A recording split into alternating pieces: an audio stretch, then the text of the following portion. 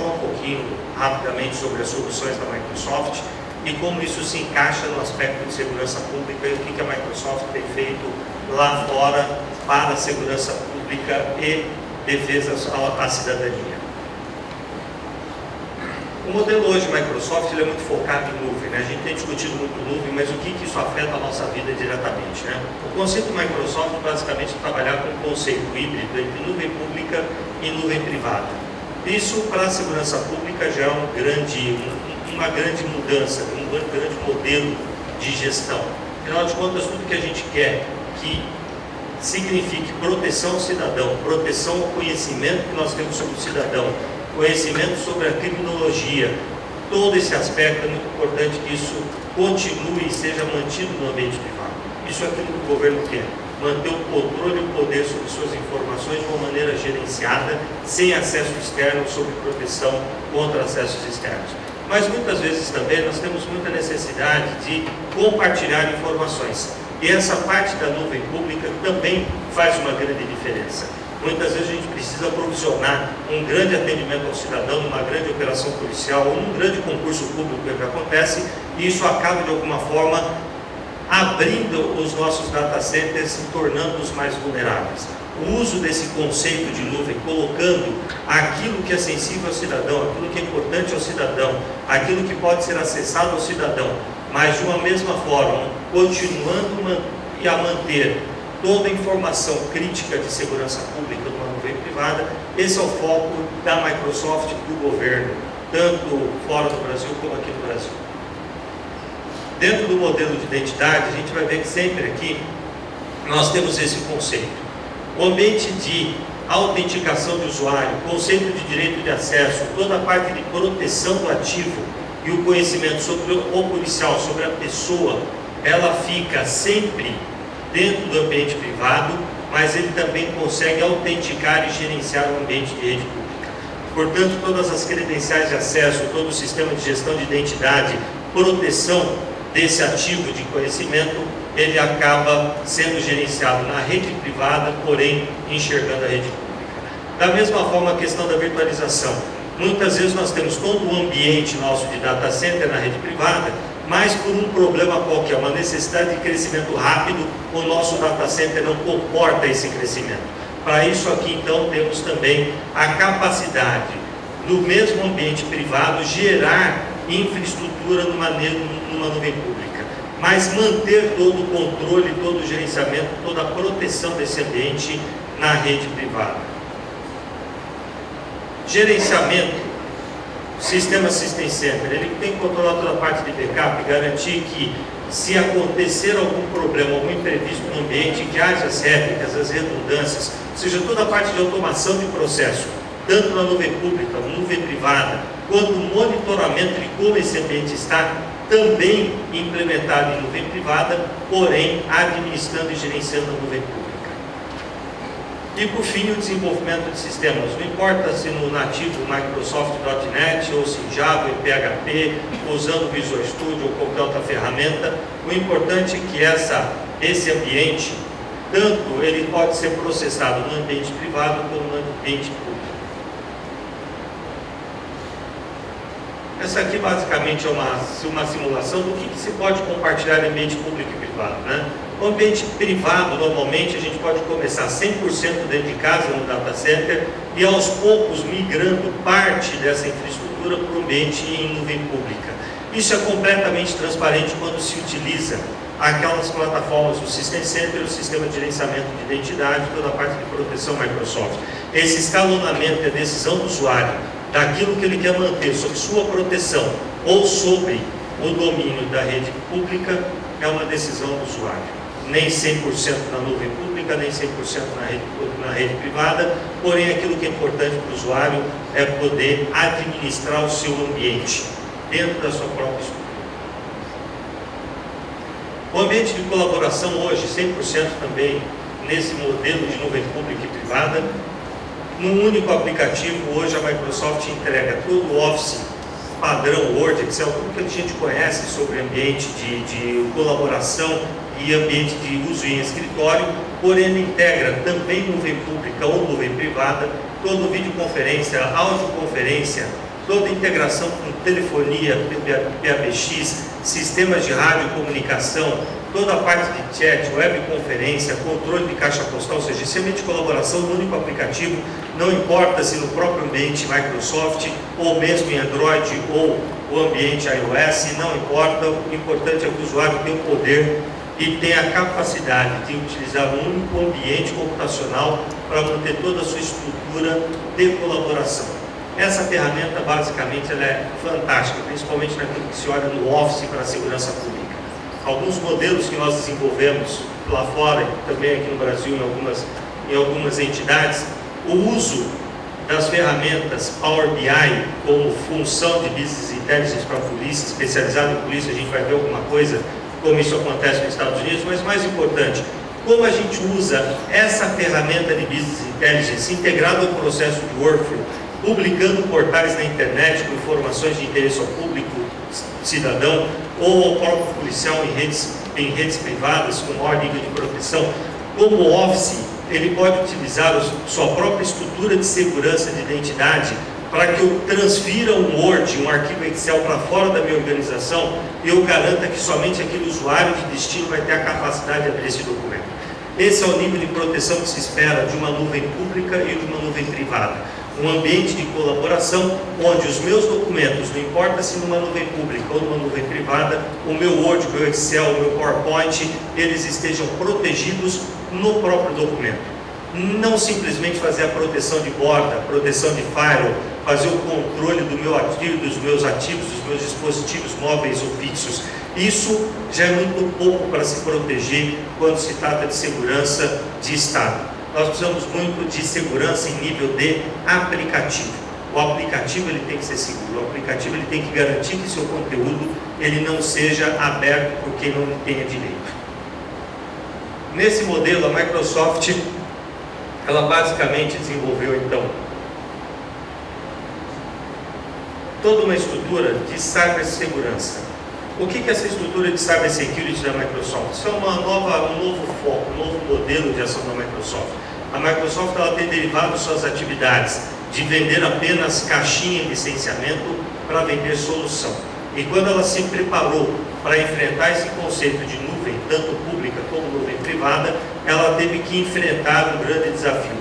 Como proteger as informações dos usuários Microsoft, mesmo que estejam dentro de casa. E aí então a Microsoft, lá oito, nove anos atrás, começou a desenvolver um grande arsenal de ferramentas, produtos, serviços e modelos de gestão de cibersegurança. Recentemente inaugurando o primeiro Cybercrime, o primeiro centro de comando e controle de cybercrime da Microsoft, que envolve a parte de perícia judicial, a parte de ajuda aos órgãos públicos de qualquer governo ao redor do mundo a identificar as ameaças que invadiu aquele determinado órgão e de alguma forma ajudar a rastreabilidade de qual foi o foco daquele ataque e qual foi o que, que afetou aquele ataque em termos de prejuízos àqueles órgãos. Recentemente, a semana passada, foi anunciada, a Microsoft desativou uma rede de botnet com mais de 2 milhões de computadores infectados ao redor do mundo exatamente colaborando com algumas agências governamentais ao redor do mundo, fazendo essa parte de perícia judicial sobre os hackers que fizeram esse botnet. De qualquer forma, como é que funciona esse arsenal? A Microsoft hoje utiliza basicamente seu Endpoint Protection, que é toda a proteção de antivírus, toda a proteção de segurança da estação de trabalho, mais o sistema de busca Bing, que faz toda a parte de coleta de dados, toda a parte de busca e indexação da, da web, para encontrar malwares. Qualquer página web hoje que de alguma forma mantém internamente malwares, qualquer e-mail que os usuários em nuvem diga que é um spam ou que pode ser responsável por um phishing máquina, esse grande arsenal dentro da sua própria da sua própria unidade de governo ou na nuvem pública, ele passa a ser um gestor de sensores.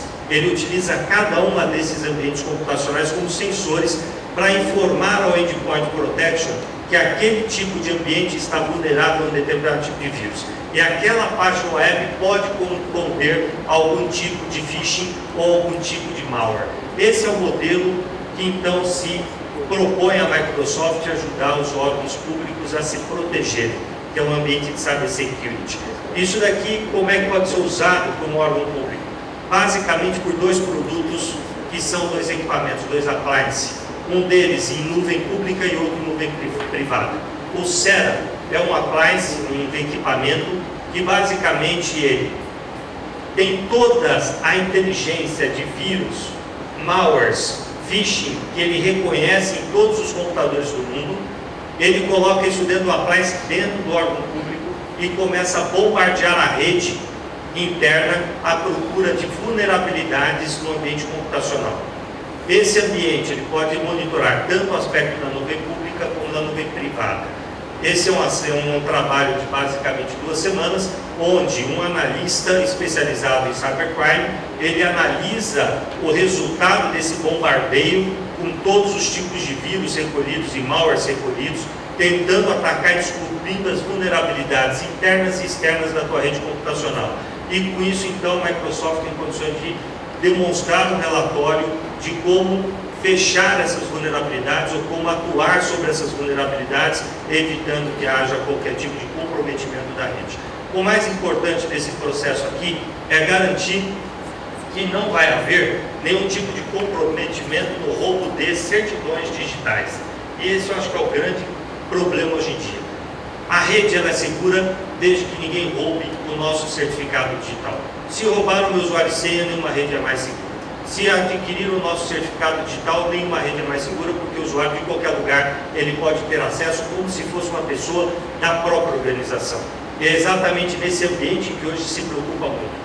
Como impedir que o seu sistema de, de, de, de autenticação, o seu sistema de certificação digital, ele seja atingido por qualquer tipo de malware, qualquer tipo de phishing e que de alguma forma tenham acesso à sua rede computacional.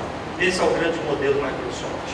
Falando um pouquinho de segurança pública, a Microsoft, há cinco anos atrás, num acordo com a Polícia de Nova York, desenvolveu um framework de segurança pública. Esse framework de segurança pública hoje ele é basicamente fornecido a qualquer lugar do mundo, mas basicamente ele é um sistema que cuida da detecção, análise e visualização de alarmes de segurança pública. Isso envolve toda a estrutura de colaboração usando aquela ferramenta de Office 365, toda a parte de, de workflow, toda a parte de gestão, de análise de informação, toda a parte de integração de bancos de dados, isso gerando no final, basicamente, relatórios de análise criminal e os sistemas de gestão de alarmes para comandos e controles. Essa é uma plataforma Microsoft. Como é que funciona essa plataforma? Basicamente nós temos uma estrutura onde um conjunto de banco de dados do próprio de, de interesse da segurança pública, mais um conjunto de sensores. Sensor pode se entender, leitores de placa. Sensores pode se entender, como o Tom falou, é, sensores que identificam tiros, disparos de tiro Sensores pode ser, por exemplo, a abertura de uma porta de um hospital que tem uma ressonância magnética ou tem algum equipamento que de alguma forma possa gerar contaminação radiológica ou nuclear. Qualquer tipo de sensor pode ser adaptado então a esse produto, incluindo sensores como leitores de placa e também câmeras de vídeo com vídeo analíticos, com análise de vídeo. Esses sensores, então, eles são totalmente indexados, classificados por latitude e longitude e cruzados com as informações de 190, 193, 192, cruzados com as informações de Detran, cruzado com informações de boletins de ocorrência. Todas as fontes que envolvam o criminal são cruzados com esses sensores. E somente após o sensor ele cruzando com algum tipo de informação inteligente, ele vai fazer então um disparo de um determinado alarme para que um despachador ou alguém que faça a parte de gestão do centro de controle receba. A gente vai ver alguns casos práticos disso daí, mas basicamente entrou uma ocorrência no 90, uma pessoa praticando determinado roubo. Existe uma câmera de vídeo no entorno? Se existe uma câmera de vídeo, o próprio sistema, sem operação do usuário, ele tenta direcionar a câmera para o local daquele crime e automaticamente faz um clipe de 30 segundos antes do alarme ser disparado, ou seja, antes da pessoa ligar para o 90, e começa a passar uma outra imagem de vídeo, a imagem em tempo real. Então o operador, quando recebe a imagem, não fica ouvindo as milhares de imagens que poderia ver. Ele vê apenas a imagem onde tem um alarme gerado naquela região. E isso faz completa diferença em qualquer sistema. Nova York são hoje 7.500 câmeras de vídeo e mais de 5 mil sensores e são cinco operadores de centro de comando e controle para o sistema de gestão de imagem. E esse tipo de inteligência é o que faz a diferença naquilo que o Tom falou. Ou seja, não adianta simplesmente a gente, depois que a bomba explodiu em Boston, buscar a imagem para tomar uma decisão e usar isso como processo de investigação.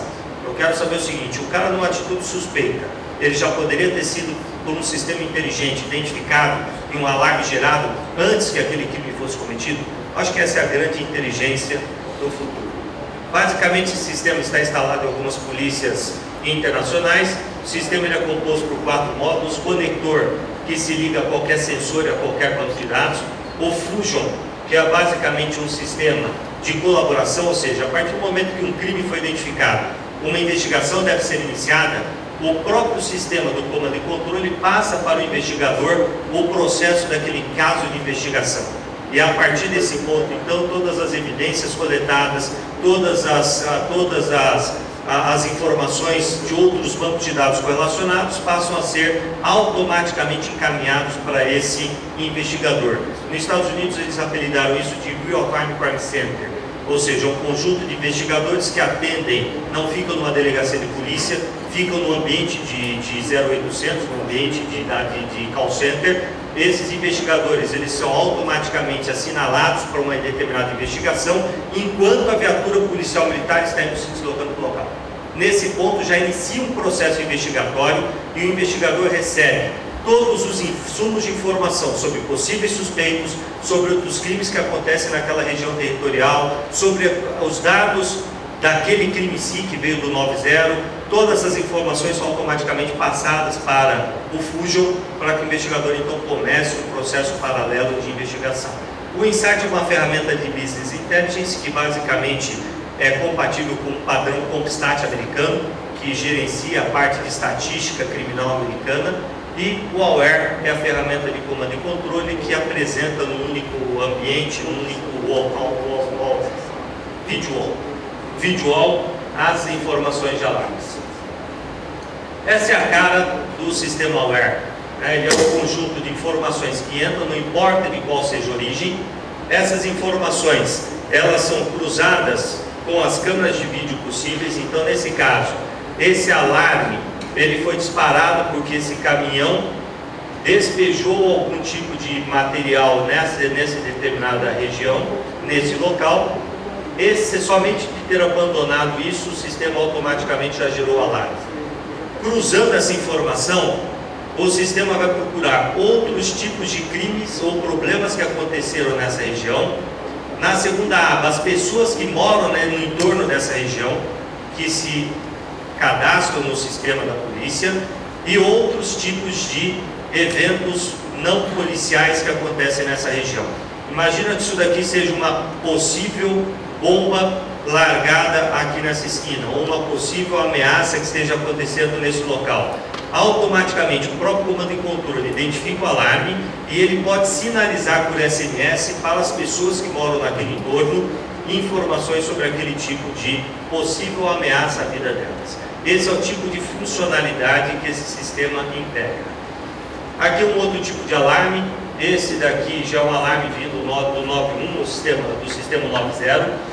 Nesse caso, ele já traz os dados que o despachador alimentou, informações de correlações de outros crimes que já aconteceram nesse local, pessoas possivelmente envolvidas nesse tipo de crime. Então aqui ele já faz o cruzamento das pessoas que foram presas pelo mesmo tipo de crime naquela mesma região e já trazem essas pessoas como possíveis suspeitos. E veículos possivelmente vinculados a esse ambiente territorial. Como é que ele trata esse veículo? Todos os veículos que passaram pelos leitores de placa ou pelos sistemas de vídeo analítico que estejam nesse entorno. Ou seja, são possíveis evidências para uma possível investigação. Automaticamente o sistema identifica num determinado raio quais são as câmeras de vídeo que cobrem esse determinado local territorial e já trouxe para o atendente essa imagem relacionado ao alarme. Seja, aquela, aquele paradigma de nós fazermos vídeo monitoramento urbano, colocarmos lá um policial ou um terceirizado para ficar olhando lá 9, 10 imagens numa tela, basicamente isso daqui desaparece. Os sistemas de imagem são trazidos conforme a demanda para aquele tipo de alarme. Isso aqui é um detalhe, né? Daquela tela, da, da primeira tela, os crimes que já aconteceram nessa mesma latitude e longitude, já pré-classificados. Aqui já temos as pessoas que já fizeram reclamações ou que já foram presas nesse local e os veículos possivelmente vinculados a esse local. Aqui já é um sensor de leitor de placa. Esse leitor de automático de placa, ele então identifica um veículo suspeito. Esse veículo suspeito ele pode ser cadastrado de várias formas. Por exemplo, alguém ligou no 90 e informou, olha, um, um, um Corolla branco acabou de praticar um roubo em tal local. Automaticamente informação, Corolla branco, roubo, e aquela latitude e longitude onde houve essa informação do 90 vai para um banco de dados de veículos suspeitos. Os leitores de placa daquele entorno começam a procurar esse veículo. Se um veículo branco, Corolla branco, passou por um leitor de placa, nesse ponto os alarmes são cruzados. A reclamação do 90 mais o leitor de placa são cruzados e é passado então para o policial essa informação. O Tom falou bastante da LPE, né? Qual é a vantagem disso daqui para o policial no policiamento recebendo essa informação de acordo com onde está a posição da sua viatura, em tempo real recebendo a imagem de vídeo do centro de comando e controle, sem que o operador precise informar esse alerta geral para a rede de rádio.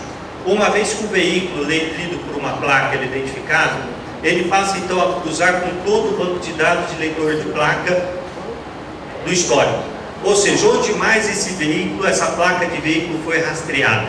E aí a gente começa a encontrar carros de cores e marcas diferentes utilizando a mesma placa de veículo. Só que é a causa real, tá?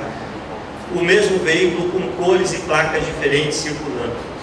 Começamos a ter então um monitoramento de onde um determinado veículo suspeito aí de carro dublê ou uma placa de veículo verdadeira que é utilizada em outros veículos como possível carro, veículo de roubo, ele então começa a trazer para o policial essa informação de maneira automatizada. Da, na continuidade, a partir do momento que um veículo é identificado, então, ele faz o um cruzamento com outros veículos que passaram no mesmo leitor de placa. Cada vez que esse veículo passou no leitor de placa, o veículo suspeito passou no leitor de placa, esse outro veículo estava na sua escolta. 30 segundos antes ou 30 segundos depois. Então, uma coincidência, o mesmo veículo sendo seguido ou perseguindo outro veículo que era um veículo de suspeita do 190.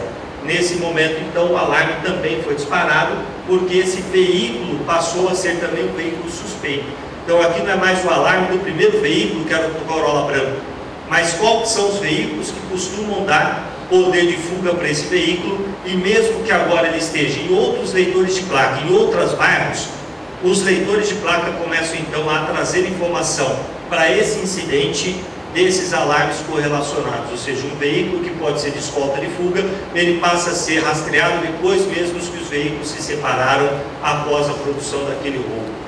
Né? Também nesse mesmo modelo, o investigador ele pode ir lá no sistema e lançar manualmente.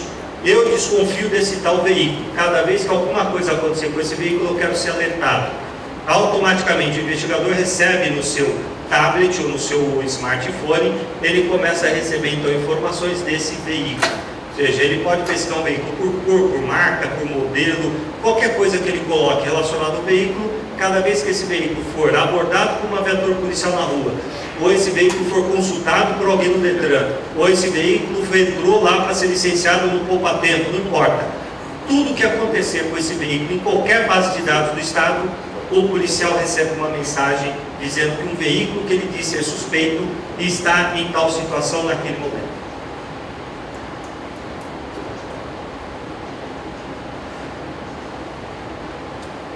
Outros modelos já voltados para inteligência e análise policial são business intelligence um pouco diferenciado. Esse business intelligence basicamente ele permite buscar em qualquer base de estado relacionado ao governo ou à disposição da polícia ele começa então a permitir que o analista criminal execute pesquisas em linguagem natural. É, aconteceu um determinado roubo, ele descreve o problema, o sistema então começa a fazer os cruzamentos dos bancos de dados que contenham informações possíveis sobre aquela pesquisa. O analista criminal pode selecionar uma área de uma região territorial que ele quer filtrar aquela informação, aquele tipo de análise criminal que ele quer fazer. Ele pode selecionar num calendário quais as datas de interesse para essa, para essa análise criminal que ele está produzindo.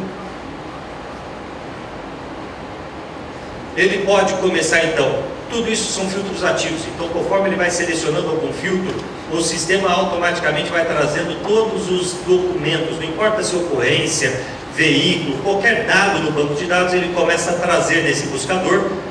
Agora ele já começa a identificar pessoas que estavam vinculados como vítima ou agressor desses crimes, já começa também a ser utilizado o próprio dado da pessoa como filtro para essas ocorrências. A partir do ponto, os veículos possivelmente associados àquela análise criminal também passam a ser produtos para esse cruzamento de análise criminal. No final, o investigador ele vai fazer o que? O analista criminal. Ele começa a atribuir para aqueles veículos que ele filtrou a cor vermelha, para as pessoas que ele filtrou a cor amarela, para as ocorrências de roubo cor branca, para os locais onde houve apreensão de arma de fogo cor azul. Ele começa a cruzar todas as, todas as pesquisas que ele fez no banco de dados e começa então a montar um mapa correlacionando essas evidências e no Word padrão nosso ele consegue então nessa integração começa a documentar o seu produto da sua análise criminal no seu trabalho de investigação. O resultado disso daqui, ele pode então encaminhar para um processo de abrir um caso de investigação ou começar então a planejar uma operação policial sobre o resultado dessa, dessa investigação.